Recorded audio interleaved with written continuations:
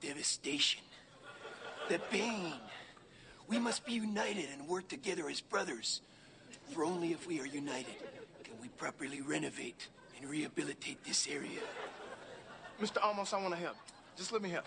Sweep up the yard, my brother. What could I do? Gather the garbage. Mr. Olmos, I just want to tell you that you're my hero. No, no, my child. I'm just an actor talks sincerely and whose face looks like the Latino side of the moon. Now let's get moving. There is so much to do, so very many ways to be seen. All right, people, listen up.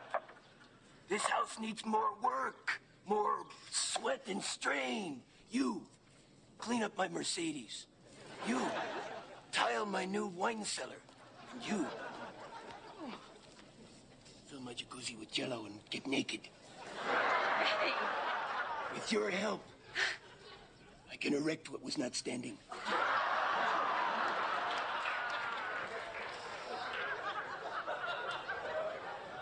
All right, people, let's go. Listen to me. Come here.